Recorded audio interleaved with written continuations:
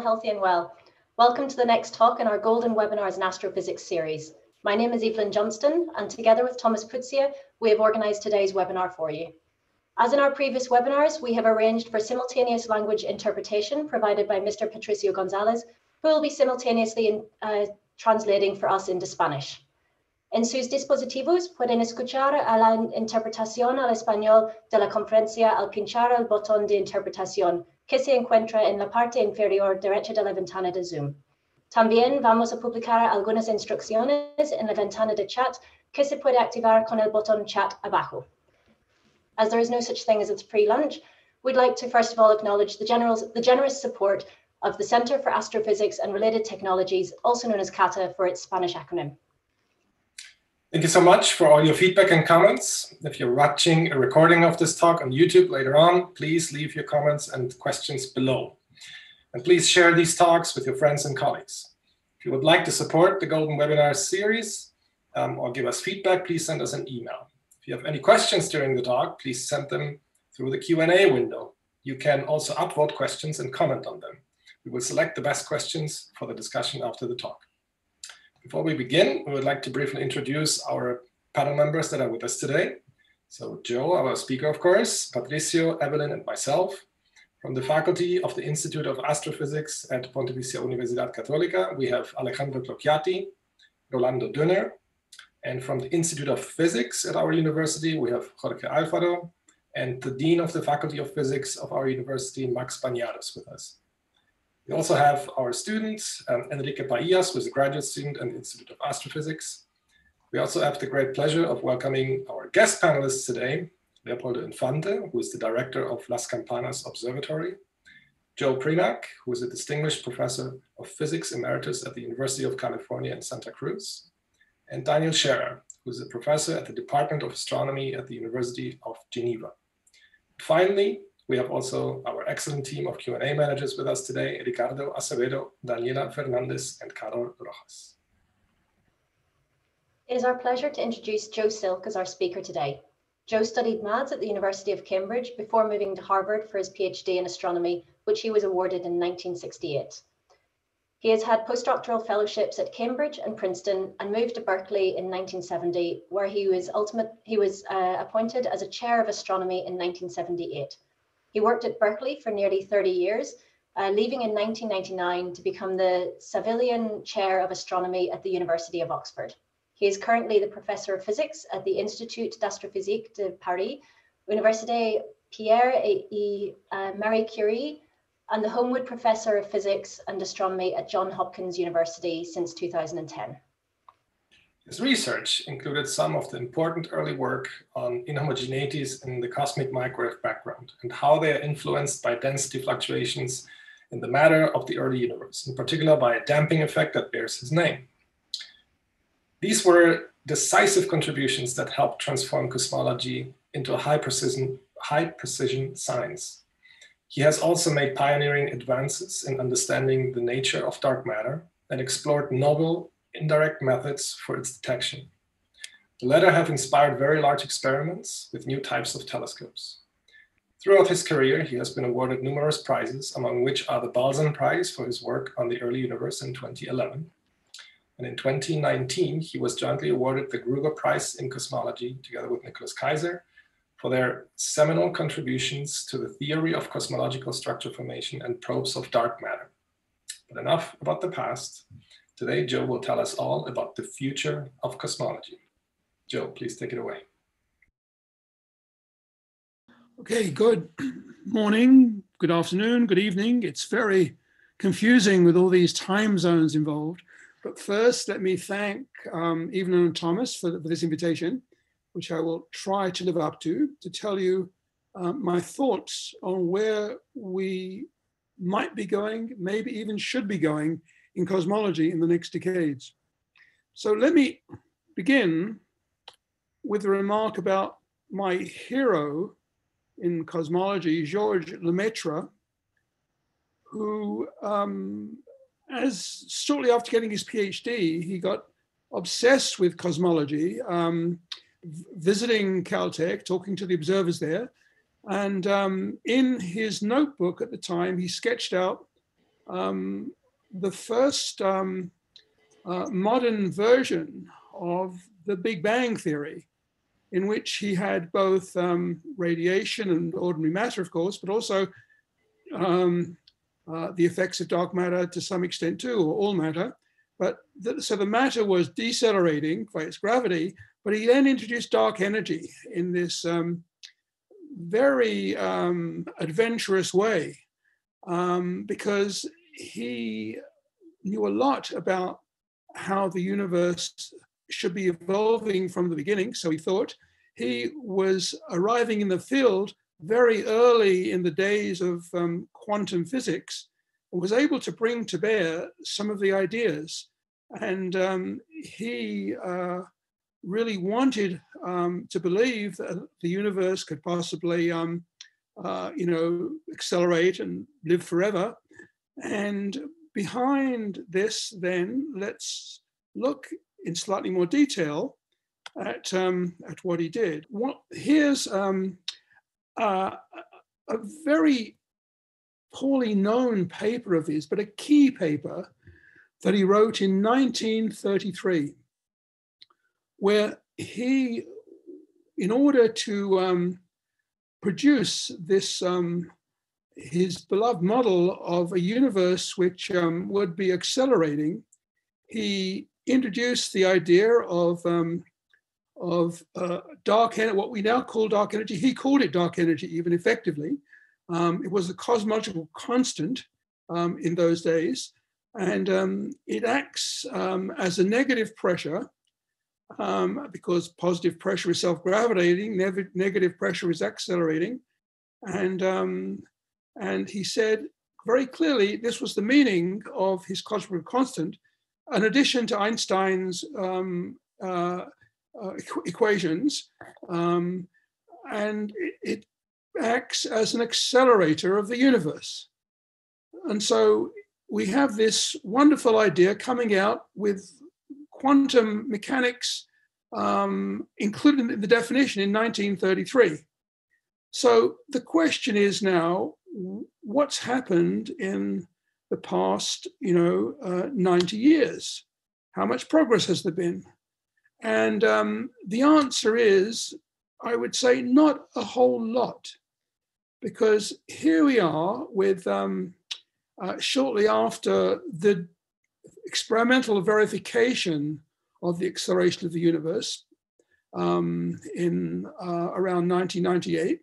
Uh, we have one of the more deep, first early surveys from 2001 where you see um, the value of this um, dark energy constant, this equation of state parameter that the Lemaitre hypothesized, minus one, with huge error bars. Um, and the data was to get better over the next two decades.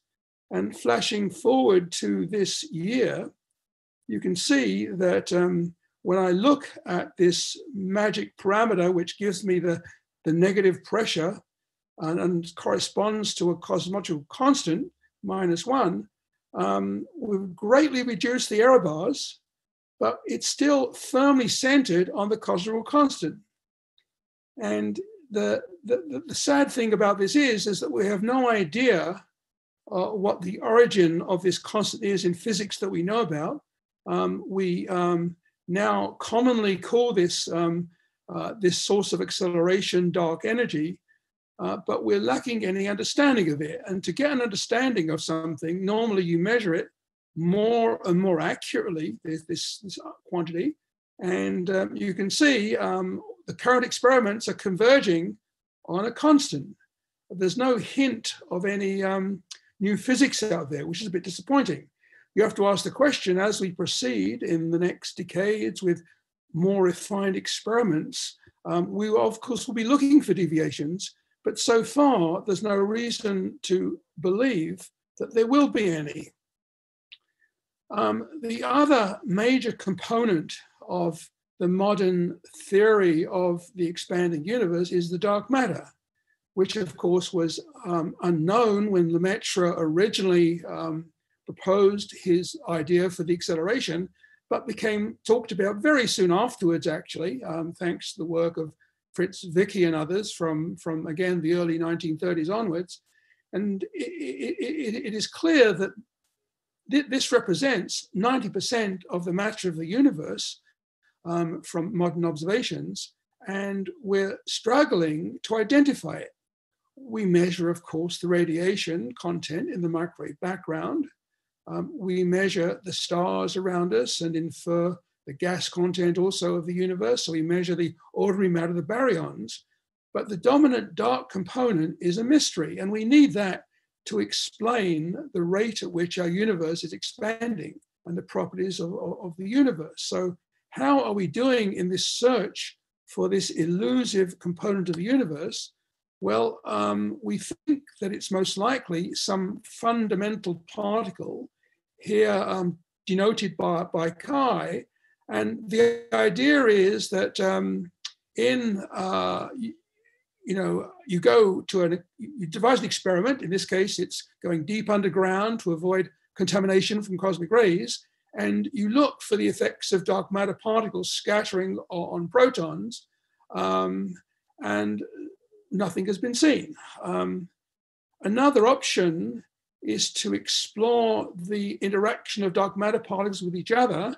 In many cases, they, um, uh, they would annihilate with themselves um, and give you gamma rays. We've looked hard for gamma rays, um, in the regions of the galaxy where dark matter dominates, in dwarf galaxies, laboratories for dark matter, and so far, nothing. Um, the final uh, um, way of, um, of looking is to go to um, an accelerator, um, and there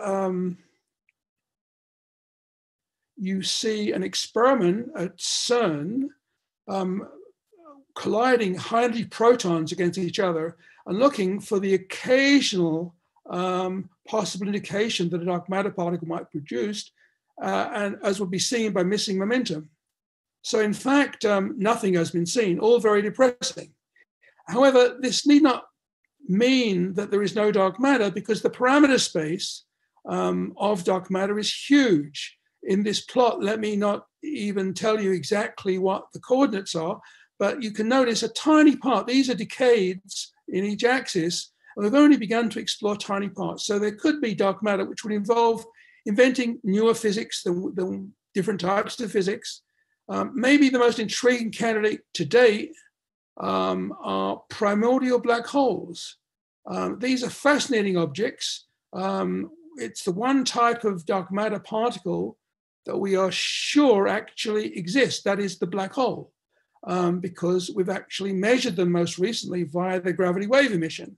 Now, black holes that we see for the most part are thought to be produced by very massive stars, but there could be, and it's even plausible that there should be, um, early fluctuations of the universe, deviations of the very early universe, which gave rise to forming tiny black holes. We haven't seen them yet, um, but they are a candidate for the dark matter. And the intriguing thing is that because the early, early universe, when these were formed, is so hot, even a tiny sprinkling of these fluctuations would eventually be important at late times in the universe.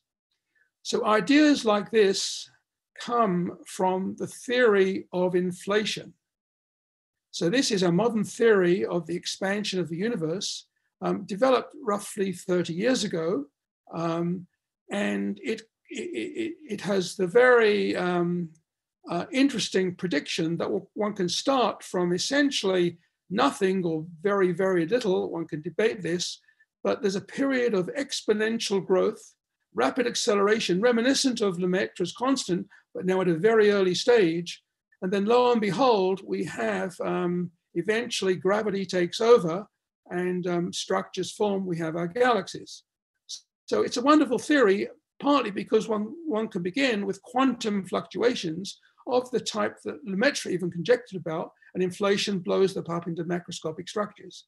Anyway, it, it's, it, it's, a, it's, a, it's a theory that has met with many successes observationally.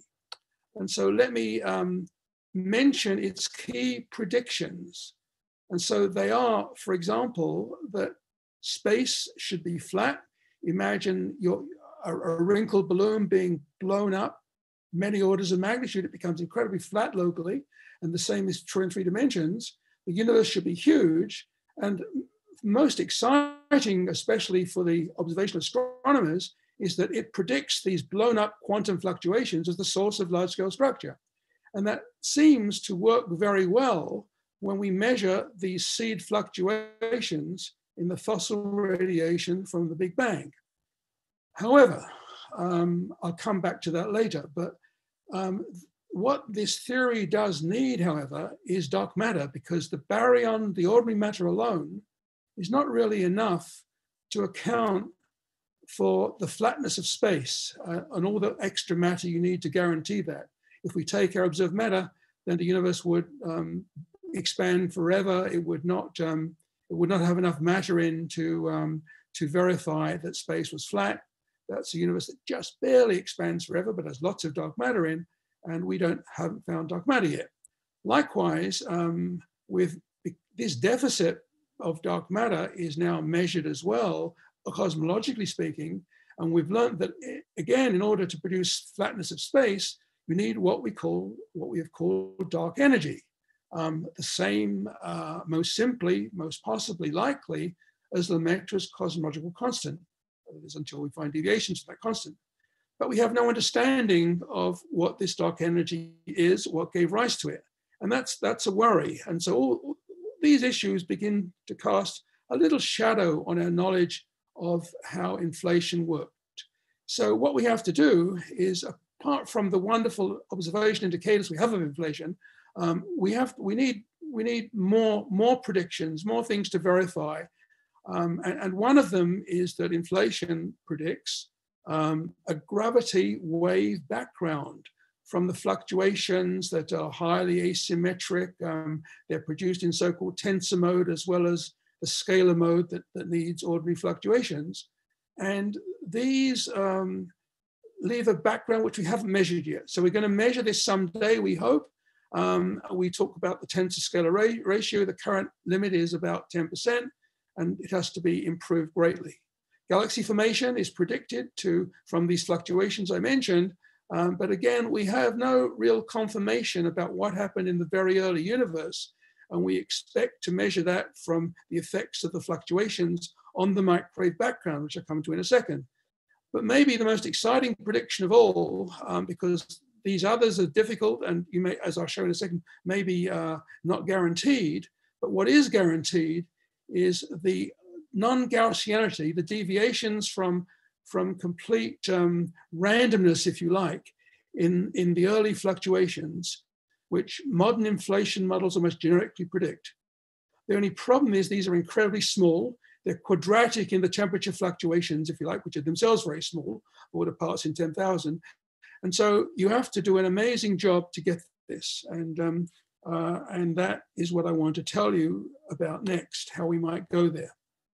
Okay, so as of um, as of now, um, the microwave background, this is the wonderful map from the Planck uh, satellite, um, shows these fluctuations at the um, micro Kelvin level, which are the seeds that eventually gravity enhanced and made the galaxies around us as, uh, as they seeded density, uh, density fluctuations that eventually collapsed.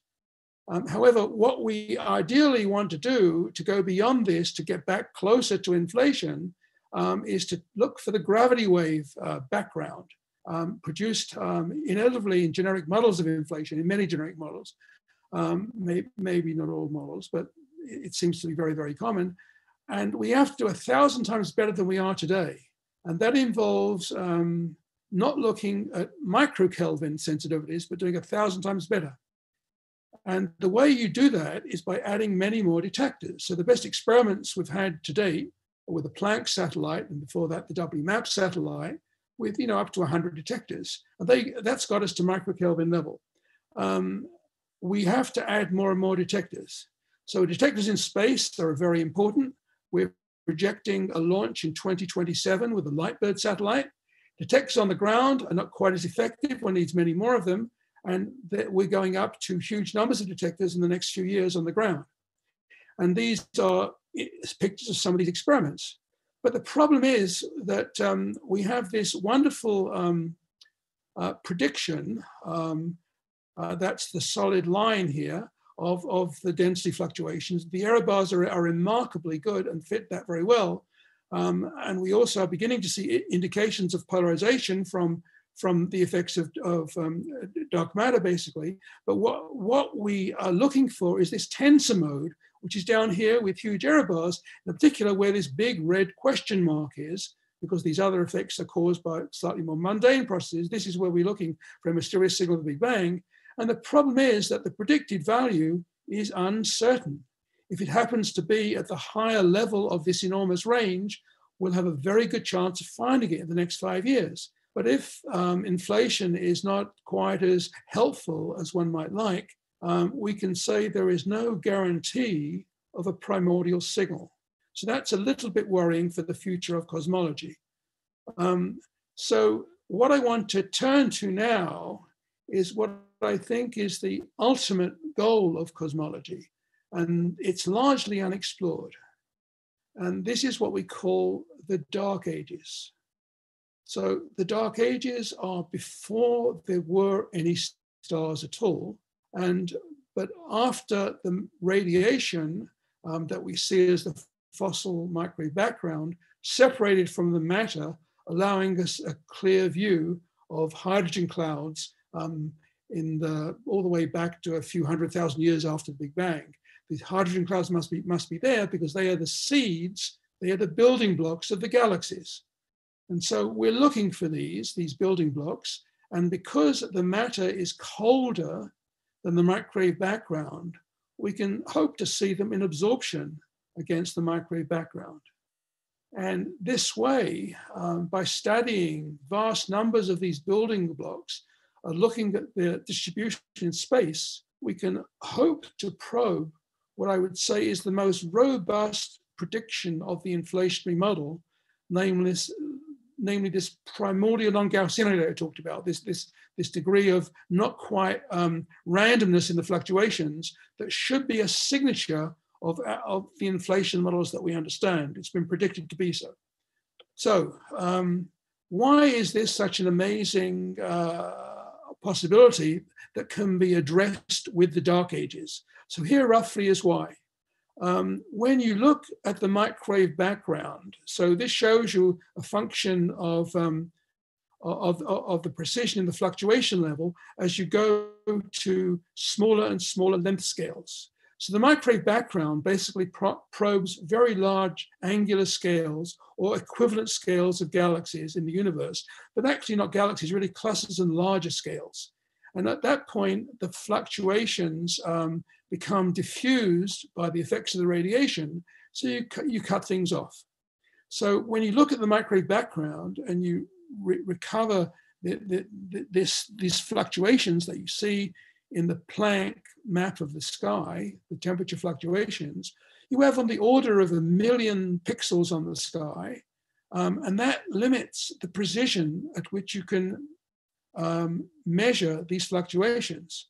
And so one over the square root of the number of modes, that means you're roughly looking at 0.1 precision in the microwave background. And if we want to get down to really testing inflation, we've got to do much, much better.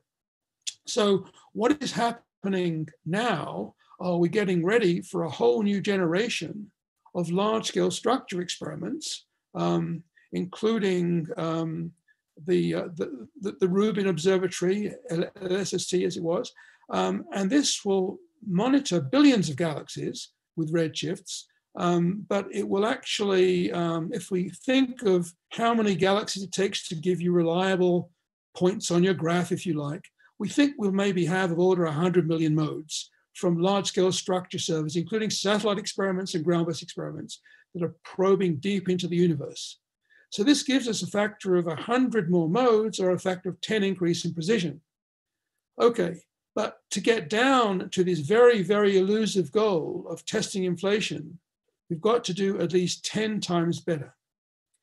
And if you think about it, there's only one way to do this, really, I think, and that is by going to many, many more modes. And that the obvious place to do that, I think, is in the dark ages, where you have all these building blocks of galaxies. So you have for a galaxy, uh, maybe its building block was a million solar masses, so you have 100,000 building blocks or more per galaxy. And these are clouds. And you could look at them, they're cold clouds against the microwave background. And how you look at them, well, your best bet is at 21 centimeters. You can see the gas um, in absorption against the background. It's a, it's a well demonstrated way to measure cold gas. Um, but because you're going so far back in time to do this, um, you basically have to go to incredibly low frequencies. Uh, we're talking about measuring, um, you know, rev shifts of 50. Remember, our, the deepest we've gone so far is seven or eight. The microwave background, of course, is beyond that at, at a thousand. So it's well within the range of, of, of um, physics that we can probe already, but it's very, very difficult to do. But if we can do this, we can open up many more modes um, and because you can work in three dimensions when you measure redshift, as opposed to with a microwave background, you see the fluctuations spread out on the sky in two dimensions, you get even more modes. So getting a trillion modes is by no means impossible. Eventually, there are, there are of course many problems, but, and it would get us the precision we need, maybe, to really begin to probe inflation. Okay, so let me now put this on a slightly firmer footing. So again, to summarize, the microwave background um, will get us down to 0.1 precision, 0.1% precision, um, 10 minus 3, and we'll do that. And that's, you know, basically we're getting very close to that in cosmology at the moment. Um, but we'll do better in the next few years and, uh, and be able to probe this non-Gaussianity at this level. Using galaxies gets 100 times more modes with these new experiments, um, and that'll get us a factor 10 further. But what we, what we really need to do is to go to um, uh, these many tiny clouds, which are the precursors of these of this big galaxy over here, and see them in absorption against the background. And that will open up the, this trillion modes and get us down to incredible precision in principle. Um, but I wouldn't hold my breath on this one. I'm estimating this might take us 20 years at least. I'll, I'll explain why as I go through my talk. So here you have the micro background on the left, um, the universe that we know on the right, and the dark ages in between. And that's where you want to go. And um, let me just show you another way of, of, visualizing the effect that we're looking for. So, so this is in the reverse direction. And as you go back in time, um, we're, we are on the left at redshift zero. You, you go back to redshift 50 or so, uh, ideally. This shows you the signal that you're looking for, the deviation um, uh, of the hydrogen uh, being colder than the microwave background. And it's complicated because you know nearby in the universe there's lots of heating from stars, so its its, its emission is warmer.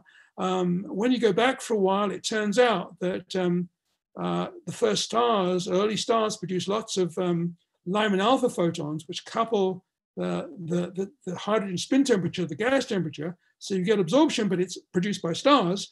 But what you ultimately want is the dark ages, no stars whatsoever. And then the gas is colder for a while until you get back to the decoupling epoch at 1000. And there you can, in principle, look in absorption against the microwave background. And in principle, get this wonderful return if you could ever measure all these modes. But you've got to do this at redshift of about 50 which means, you know, 30 megahertz or thereabouts. Okay, so there's really only one place uh, feasible for us in the next uh, century, let's say, um, to do uh, astronomy at such low frequencies, and that is on the far side of the moon.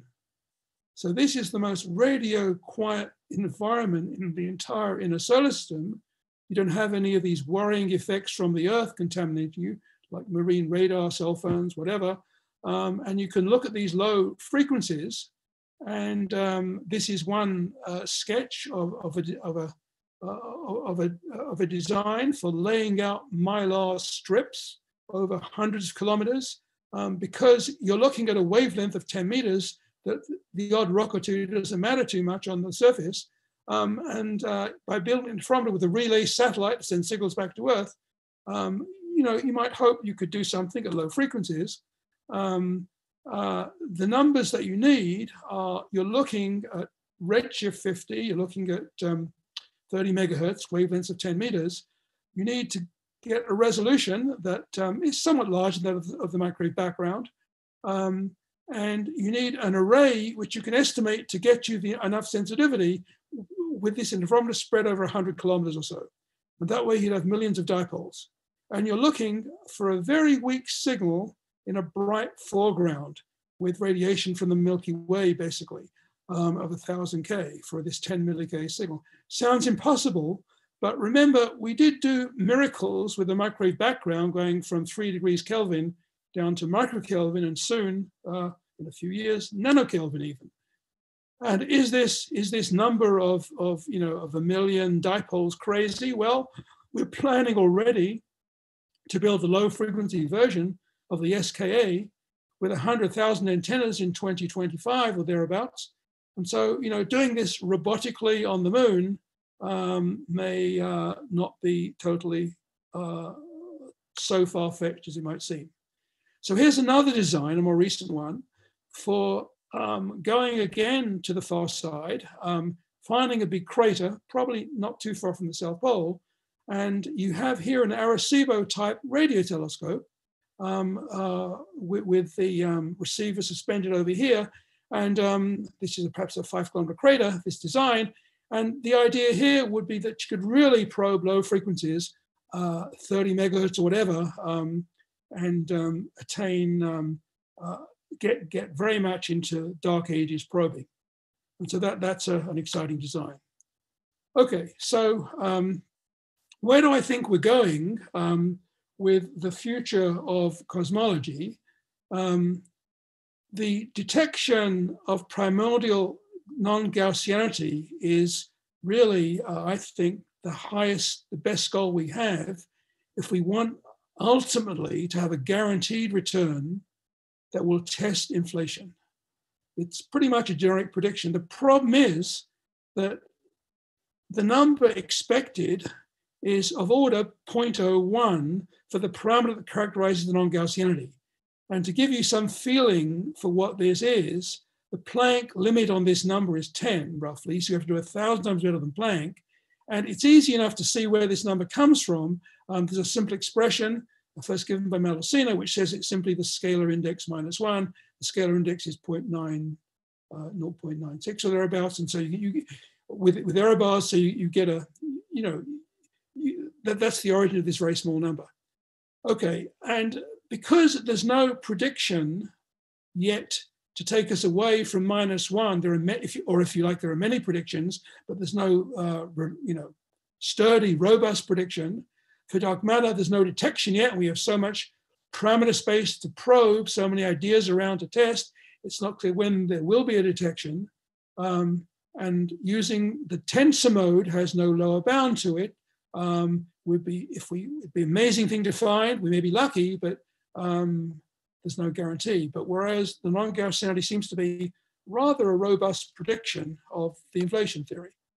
Um, so again, um, this is what we need to do. We have to beat this number down all the way to 0.01. Okay, so um, telescopes on the moon are, are good for low frequency radio astronomy. But if we're going to the trouble of building telescopes on the moon, we, it's good to have other goals too. And they're ideal for a number of other things that I want to sketch briefly. Um, and these are infrared astronomy um, and microwave background spectroscopy. And uh, here one can make um, pretty remarkable advances too. Um, and this will bolster our campaign to develop telescopes on the moon. So where would you put, um, uh, for example, um, an infrared telescope? So an ideal site is probably the following. You're not worried about radio interference, so you can go on, on the near side of the moon, but you want to go near the South Pole probably. Um, there are many large craters there, but the idea of going near a pole is the sun always is way down um, near the horizon, so you will never get excessive heating uh, actually.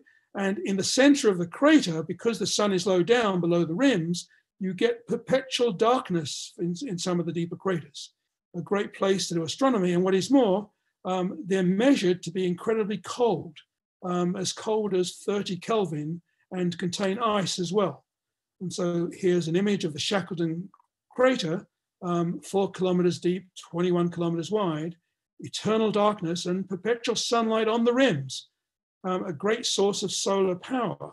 And, um, and what is more, um, recent oops have found evidence for ice on the moon.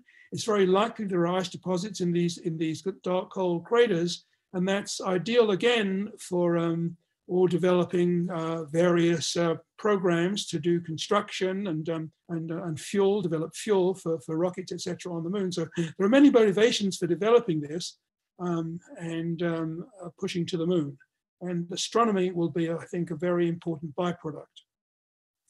So let me take you to the um, to the infrared, okay? Um, and the here's a design for an even uh, incredibly sophisticated infrared telescope, which will have a total aperture of 10 kilometers. It seems like a dream.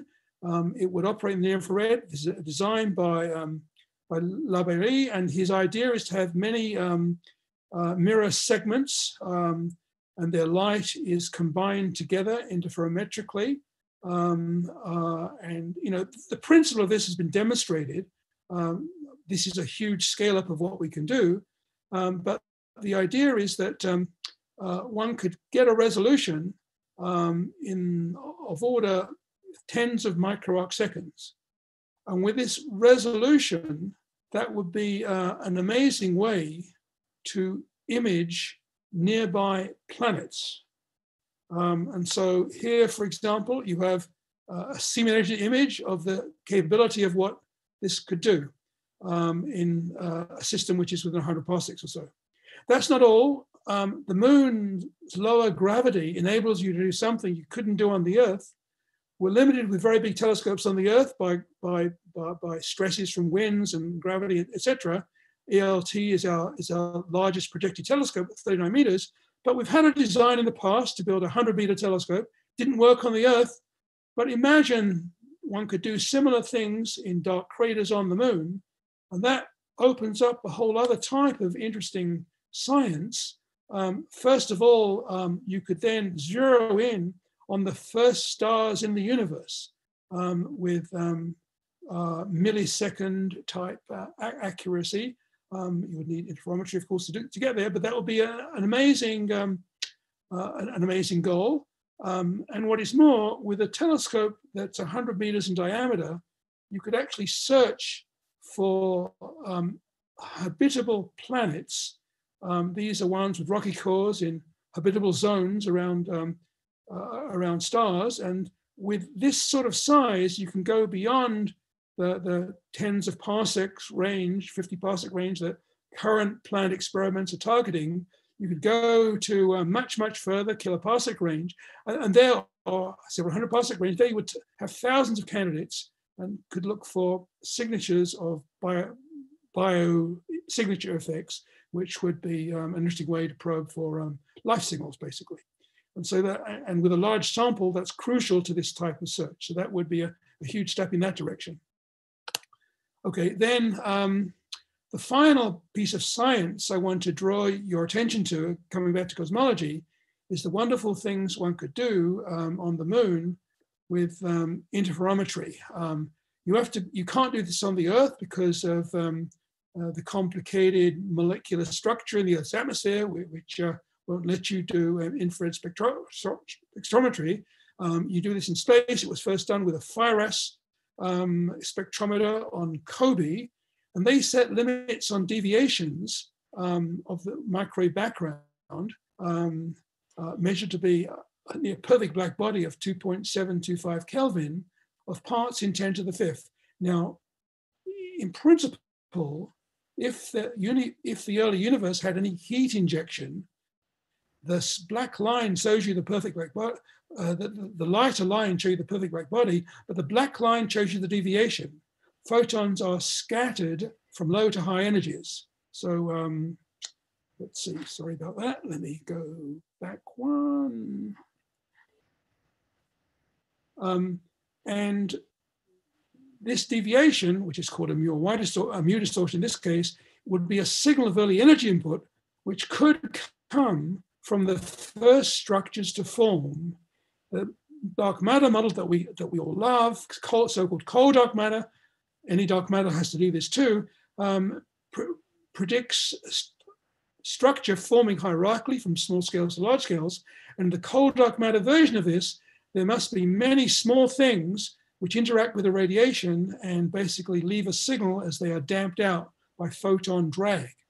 And this one could look for and test. It involves doing maybe a thousand times better than um, the FIRAS experiment. An experiment planning to do this was called was called was called Pixie. Um, um, sorry, let me just get back into my okay. Um, was called Pixie, and that experiment um, uh, was rejected by, by, by, by NASA twice um, because it didn't quite have the sensitivity um, to get to the goal um, that, that we need. Um, and so the, um, if one went to the moon, one could actually build a super pixie. And so this pixie itself was only a 55 centimeter telescope um, and uh, with a single detector. But one can imagine telescopes with many detectors um, and um, a much larger te telescope too. And that would get you down to the required range. And maybe the amazing thing that you could do with this um, would be to, um, to look for the recombination lines from the very early universe. That would be an amazing, that's a standard, a cast iron prediction of all Big Bang models and that would be studying standard astrophysics at Redshift 1000. That would be an amazing thing to do. And this sort of experiment one could do on the moon. Okay, so um, the question is, this is expensive, who, who pays? So let me conclude with um, where are we're going to go on this. Well, there's a lot of talk now about, about going into space, going back to the moon. Um, President Trump is very much um, eager to push this. Um, we don't know what's going to happen with him, of course, but um, commercializing the moon is a, is a huge part of this activity. But you know, astronomy could go along. One could do mining on the moon for rare, rare elements. One could do rocket fuel to help launching into space. And Europe also is going to the act. Europe wants to build a space village on the moon. Um, uh, Amazon is going to the act. They wanted to deliver articles to the moon. Um, but maybe um, what is exciting is that we will we have a little presence at the moment of human activity, but that will soon change.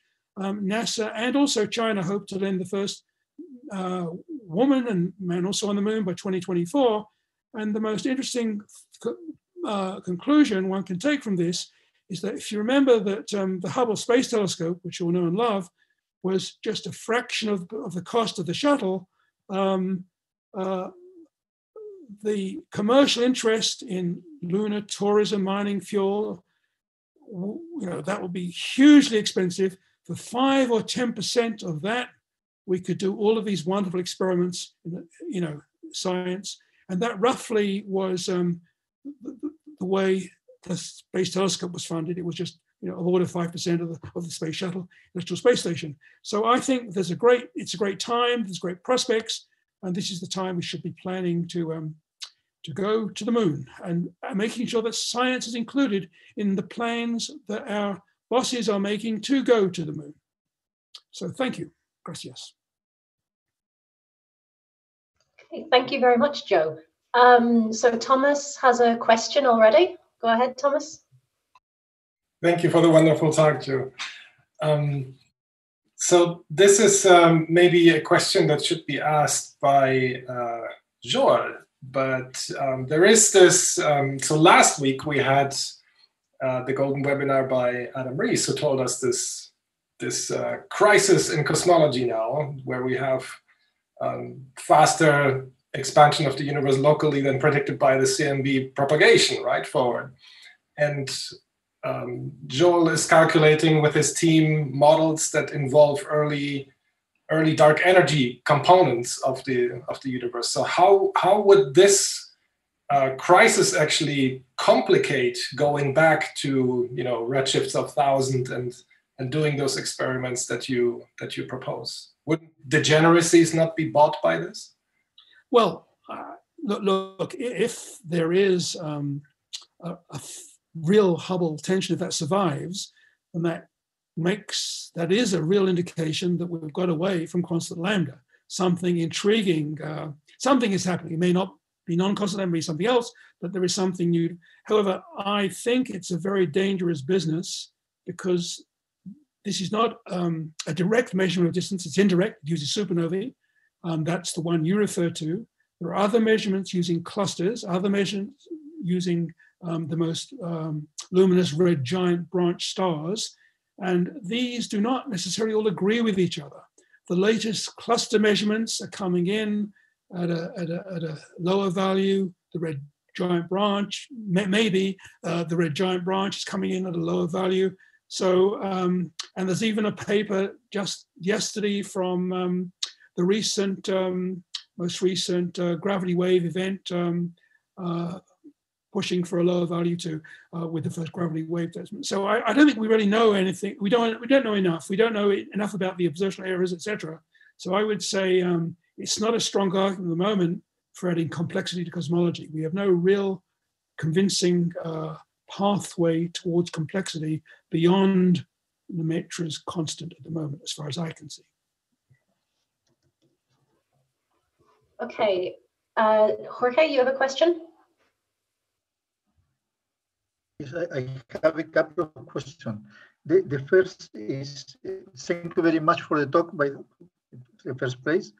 Uh, the, the first question referred to a theoretical side. Uh, when you go to, uh, very early in the universe with inflation, you are, you are approaching very much the region of uh, time, so where uh, quantum gravity is start to be important.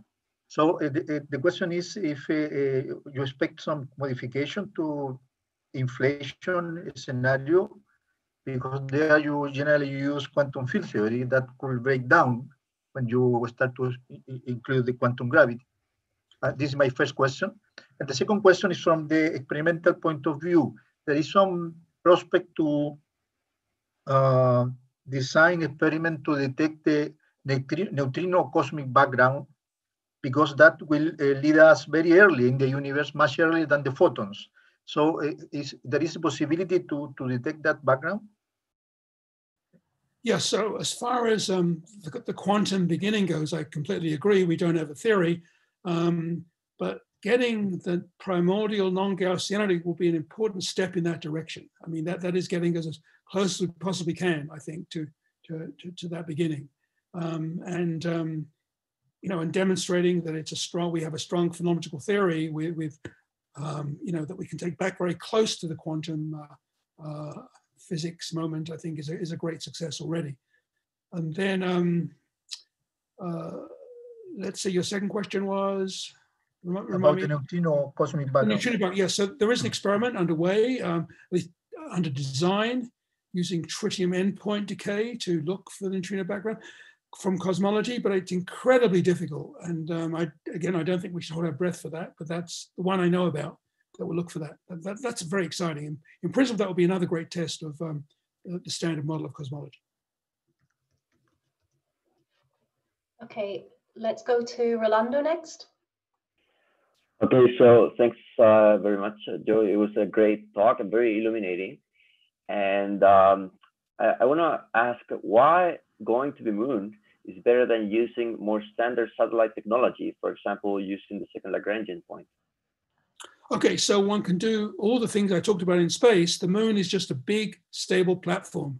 That's the big advantage. So you can do things much bigger. And that's one reason. And the second reason is that um, if you want to do something really, really big in space, good luck, you'll never get the funding.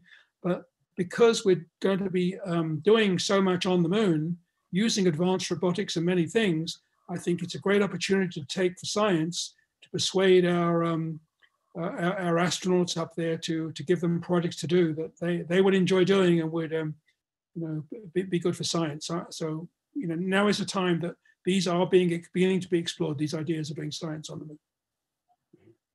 Thanks. Uh, Joel? Uh, hi, can you hear me okay? Yes. So uh, I was a little surprised, Joe, that uh, you're as unconcerned as you say you are concerning the uh, uh, disagreements between local versus early universe measurements of the expansion rate. Uh, I particularly was impressed by the fact that not only do most of uh, the measurements using the distance ladder, of which you mentioned a few, agree uh, on a Hubble constant of about 73, but also a completely independent test using time delays of uh, uh, multiply imaged quasars is giving it essentially the same thing. And that's really uh, a non-distance ladder measurement. Uh, anyway, my question is, uh, are you concerned at all about other uh, tensions, in particular the sigma 8 or S8 tension? Uh, let me say also, though, that uh, I really enjoyed your uh, promotion of uh, uh, astronomy on the moon, and sounds like a great thing to try to hitchhike on the other moon events, moon exploration, and voyages to the moon. so, great idea. Thanks for that. Yeah. So, you know, I, I, I think that. Um, all these various tensions are, are, ones that are subject to completely unknown systematics. That's the problem we have. And it's a bit like reading tea leaves. You know, you take your favorite this or that and um, argue for this. There is there are recent experiments coming in that do um, that don't all go in the direction of a high Hubble constant. And so I just think this is telling us that it's just too early to, to decide. And all the other tensions, the, the sigma 8 one you mentioned, again, that's being debated vigorously, and um, it looks as though as you you know add a parameter or so to the um, to the Planck six parameter canonical ensemble, that that gets weaker too. So um, I I think again I think it's just too early to say there is a problem with the model. You, ne- you really need to get way way beyond um, five sigma. We've had you know discoveries in the past in astronomy at the 10 sigma level have gone away completely. So I, I think it's. Uh, you know, well, uh, so there are three uh, fairly detailed models that people have worked out. Uh, Marc Kamionkowski's group, Wayne Hu's group at the University of Chicago, and Lisa Randall and her group at Harvard. Uh, we picked uh, the Kamionkowski one to do n-body simulations for. And the interesting result was that at redshift zero, the predictions are virtually identical to standard lambda CDM. But as you go to higher redshift, you get a lot more structure formation, 50% more clusters at redshift one, for example, which will be easily tested uh, by the eROSITA uh, satellite. So uh, I think it's, you know, our job as theorists is not to know what's true. We have no idea what's true. Uh, we make various assumptions and work out the consequences. And this looks interesting to me. Yeah, I agree. I look, I look forward to tests of these ideas. Right now, early dark energy seems like um, an incredibly ugly um, addition to Lemaitre's idea originally. But you know, maybe we'll find evidence for this, uh, and or you know, all, all the power to you if that, if that works out. Okay, Enrique, you have a question from the Q and A. Sure. Thank you, Dr. Silk, for the wonderful talk. Uh, so here's a question by Hernan Gallego from the Q&A. So dark energy as a constant push or effect over space, does it violate energy conservation? Is there any counterpart effect that holds the symmetry? Um, no, I, I think it's just um, uh, a, a, constant that's um, put in by hand um, into the uh, uh, we have no understanding of um, you know energy conservation is not violated. So. Okay, we have an interesting question from Gaspar Galaz that's aimed both at you, Joe, and also at Polo Infante. One of the promises of the EELT is to measure directly the expansion rate of the universe, thanks to hopefully the development of ultra stable spectrographs using quantum optics we need to reach very high precisions um, uh, over the next decade to achieve this. If this is done, it will allow us to quantify the nature of dark energy. So the question for Joe, are you optimistic about this? Do you expect surprises? And the question for Polo is, do you expect the GMT to have answers before the ELT? Okay, so I, it sounds like a wonderful experiment, but um, I, again, uh, very, very difficult. So let, let's wait and see um, if it can come up with any interesting uh, puzzles that deviate from our current knowledge. Okay. And Polo, what's your opinion on the GMT? Ah, tough question. Um, but well, uh, GMT has uh, been delayed now for a couple of years uh, because of uh, funding uh, problems uh, at the NSF level. The ELT is going, um, it's, it's going much better, I think, right now, but the, the construction time for the ELT is longer than for the GMT.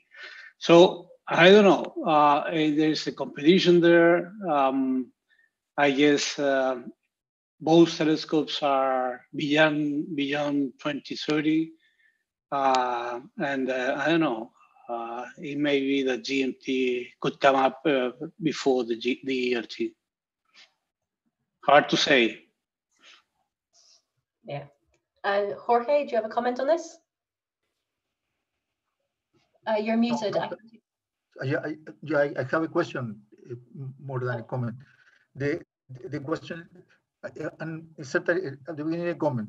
You, you, there is a this experiment that is going to come to Chile, which is the CTA, the Cherenkov Telescope Array. It has a, a, a very important uh, application. The, it's, it's, one of, of the, the, motivation to detect dark, dark matter, and also some possibilities uh, to detect the effect of quantum gravity, especially Lorentz invariance violation what do you think about the perspective of this uh, uh, experiment to, to really get uh, close to detecting dark matter? Well, I, I think it's um, it's wonderful for dark matter um, because um, the TeV range of candidate particles is to some extent still a continuation of the natural range that we've been working on for so many years, um, supersymmetric type predictions. And there's a big gap when you get um, between a TeV and the unitarity limit of roughly 100 TeV. and filling up that gap by looking for evidence from gamma rays from annihilations is a wonderful thing to do. At the same time, one can also address the lower part of that range with um, improved direct detection experiments. So multi-signature is possible there, which to me makes it very exciting. And it's, it's not disfavored that much by theory. So I, I'm excited by that um, yeah, for, for the Lorentz violation stuff, I, I really ha have no idea what to expect there.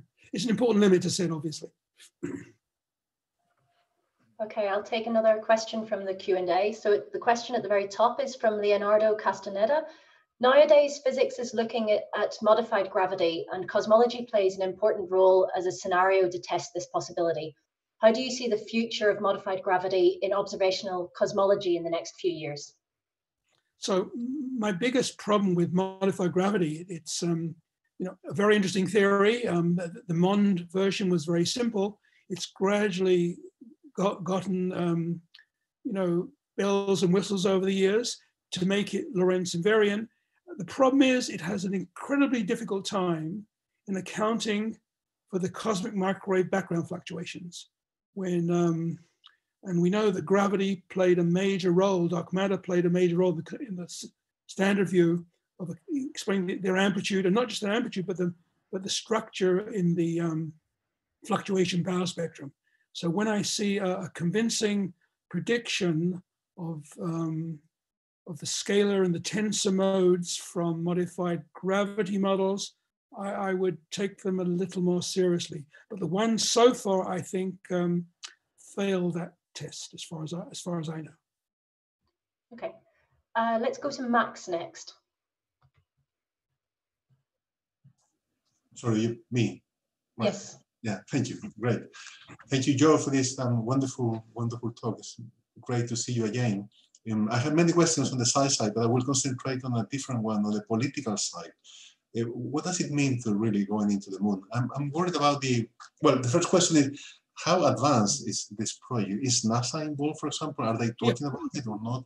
And so let, let me let me just complement the question is, um, for example, in Antarctica, there's a treaty, there's an international treaty that nobody owns Antarctica. For example, um, nobody can ask you for a passport. If you're in Antarctica, nobody can ask you for a passport. You, you have the right to walk in Antarctica without anyone uh, being able to to make any questions uh, about that. So how would that work in the moon? Would be, you think people, presidents or politicians will be clever and long sight enough to, to talk about these issues before actually starting building a colony in the moon? Yeah, so we do have an international space treaty which covers the moon among other bodies, and but it's not very restrictive. I mean, you're not supposed to send military there, but that you know. Anyway, um, the, the, the agencies, and there's a lot to be done there, that's for sure. Imagine one of the activities on the moon would be mining.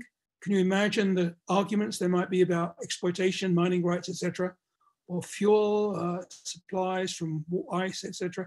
So at the moment, um, NASA is planning um, what's called the Lunar Gateway. It'll be an orbiting space station around the moon, beginning in 2024.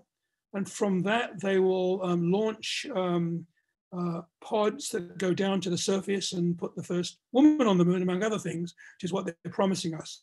Uh, China will do something similar. They will maybe go directly to the moon, but also they talk about the first woman on the moon too. Um, and the so these are the beginnings. Uh, you know, only four four years away. Um, uh, after that, um, the plans are to um, you know make repeated trips to the moon and, and develop robotic resources and actually um, maybe make more permanent habitations as, as the European Space, Space Agency is, is, is, envisioning. So, so uh, and, the, uh, and of course, one of the drivers in all of this will be tourism. You can imagine, you know about the demand we have for people to, to pay fortunes to go up and orbit around the Earth once or twice, or um, orbit around the moon, far more, 50 million or something per ticket or whatever imagine you know going to a resort on the moon and uh, playing golf or whatever you know that sort of thing. So I I, I I, I think there'll be a huge commercial issue here. And that in a way that's a good thing because science can reap some of the benefits of all that investment on the moon. Um, it, it certainly is driving the effort to go to the moon. And then you know the, the mining aspects are interesting. We're running out of rare elements on the earth especially. Um, and there's a vast resource on the moon, which has developed over billions of years, etc., from cosmic ray bombardment, etc., and, and, you know meteorite bombardment. So yeah, the moon um, has. I think we're, we're going there.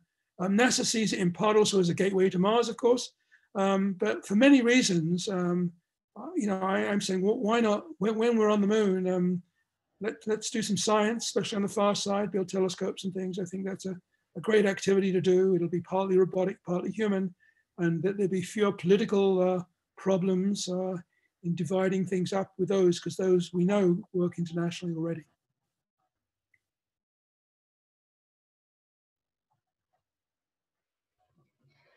Okay, let's go to Daniel next. Okay, thank you, Joe, for the nice talk. I was you were stressing especially the new constraints we should uh, come up with from observations to test the models. I was wondering before the time we will have this new data, do you think uh, young people should uh, get engaged and, and, try to work on uh, theoretical models? and do you think, for example, there is room and possibilities for alternative explanations or serious contenders to dark matter or dark energy? Or is that something which is um, not of interest, if I may put it like that? Yeah, so I, I, you know, in, in, my talk, and you know, I, I followed the mainstream view. Okay, that, that um, so far we have a, a beautiful theory um, from Lemaitre onwards, and I see, um, apart from this discussion of the Hubble tension, which I think is plagued by systematics, um, I see no real um, crying need for alternatives. However, having said that, it's very important to have alternatives. I think you must explore modified gravity and and some of these other issues um, and test these things. And uh, we're going to do this, eh, you know, with experiments like Event Horizon Telescope, for example, and um, uh, especially, and, and um, other, uh, uh, you know, gravity waves too. So these are wonderful strong field tests of gravity. So that should go ahead. what I'd like to see for the moon is more theoretical studies of what one could do um, on the moon. How how one how well could one attack the first star problem? You know, um, the simulations so far are a bit dated of what the first stars might be. Not everyone agrees on how massive they are. They come in many clusters of many stars, whatever. Um, that, that, that's a wonderful target. Um, likewise, you know, foundational experiments like looking for deviations from the black body, nature of the cosmic background, that, that's fundamental too. And we can best do that, I think, on, uh, on the moon too, because of its um, you know, lack of atmosphere, etc., uh, etc. Et there are downfalls. Obviously, the moon is not a perfect environment for other reasons, um, and it all has to be explored much more carefully. Okay, we'll take two more questions. Let's go to Thomas next. Okay, I want to pick your brain a little bit more about uh, primordial black holes. So there is a question here in the Q&A by Stephen Ridgway, and um, I'm getting this as an inspiration for asking you about what the, so if primordial black holes exist, right, um, Hawking radiation evaporation would make them, right, some of the masses would be expected to evaporate in the nearby universe. So what would be the signature of, of these evaporation flashes or perhaps have we observed them already as you know fast radio bursts or gamma ray bursts what what, are, what is your thinking about this okay okay so sure there are signatures um, if, if they evaporate not too far away um, there'd be cosmic ray uh, interesting cosmic ray predictions um, presumably you'd make um, electron positron pairs in great numbers you'd make gamma rays things like this uh, people have looked for these things um, and set limits um, you know from spacecraft in the outer solar system to gamma rays, etc., we found no evidence of any evaporating black holes. If they, if they're a little bit less massive, they would evaporate in the early universe, and then the main signature there is some distortion of the microwave background. So as I said in my talk, uh, we haven't seen that yet either. But you know, once we find that, if we ever find that, then one could debate what the source might be, and I'm sure evaporating black holes would be a very good candidate. Um, but I think they're a good candidate for dark matter at this point. Um, some of them, uh, the solar mass range ones, um, can basically uh, fill the two mass gaps that have been found naturally. They would occur at higher redshift. That's a potential test for primordial black holes uh, than the events that we're seeing so far in, in you know, showing up in the stochastic background perhaps. So there are many ways to, um, to test this hypothesis. And as far as the whole dark matter goes, if you have a wide enough mass range of these primordial black holes, then there's certainly a mass range where um, they're, they're, so unknown they could be the dark matter. And this is the lower mass range, sub subsolar, sublunar actually. That's a, an interesting option too that people are exploring by macrolensing, etc., and haven't got the answer yet. So I think it's a very exciting field um, with potential, but not really any, you know, absolutely no detections yet. Okay, and let's finish with a question from Alejandro. Hi, uh, nice hearing uh, your talk. Thank you very much. Uh, I, I, would like to go back to the issue of the um, uh, dark energy.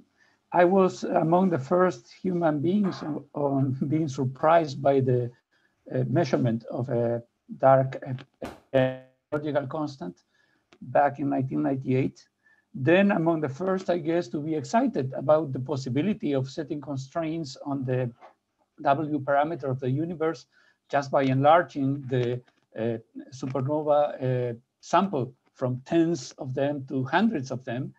And then I guess among the first to be depressed by the fact that we were just zeroing in minus one as the value of uh, W, the equation of state parameter of the universe. So if the early universe, I mean, be, before the Big Bang, the universe was like a lavish or prodigal creator of different universe that would pump up out of the background fluctuations and um, space-time fluctuations. And then only those that would allow for uh, conditions good enough for observers to prosper and ask questions uh, are those that are going to harbor observers like us. So That is, the anthropic cosmological principle will explain the values of those constants, but not physics. So what would be your taking, your position regarding that possibility? If, So- we have to, if we do have to live with the cosmological constant. Yes, so um, I take it to be a constant. That's my particular view, and um, we don't have an understanding of it. There are these anthropic explanations of it, but I worry about anthropic explanations for the following reason. If you go back a few hundred years, you'll find that the um, the position of the Earth in the solar system and the other planets was something very special, you know. And now we understand that with modern theories um, much more easily. So physics comes in to address seemingly very special things, incredibly special things. We have examples of that. Um, so I, I, it, I- would, my, my hope would be that someday, not tomorrow, but within the next century or two, there'll be a new Einstein or Lemaitre who will come up with um, a convincing explanation of why um, lambda is so constant and why W is so close to minus one. Um, I think there's physics out there that we haven't begun to probe. We don't have a theory of quantum gravity yet, etc. So um, um, I, I would, uh, you know, that, that's the direction I would go. So we are, st- you are still not depressed about that. Absolutely not. No, I, I think it's exciting that there's room there for someone brilliant to make a real contribution someday. So, Okay. Okay, let's uh, let's wrap up there. So thank you uh, everyone for joining us today for Joe's talk, and thank you very much to you, Joe, for taking the time to tell us about your work and about the future of cosmology. Uh, please be so kind to fill out the survey at the end of the Zoom webinar, uh, and our next scheduled talk will be on October 9th, which is next Friday, uh, and will be given by Makoto Yoshikawa, principal investigator of the Hayabusa 2 mission that will bring a comet sample back to Earth on December 6th. Dr. Yoshikawa will be telling us about the challenges of the asteroid sample return mission Hayabusa 2. Uh, so for now, stay safe, uh, stay healthy, and until the next web golden webinar, goodbye. Thank you. Bye.